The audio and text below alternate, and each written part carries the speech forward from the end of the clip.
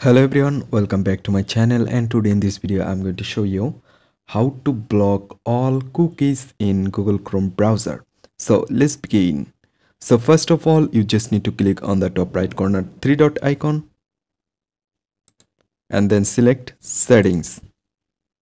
Right now you just need to select privacy and security and there have a option cookies and other site data select it and there you can see there have some option. It's selected others. You just need to select uh, or uh, block all cookies. And then you just block all cookies on chrome browser.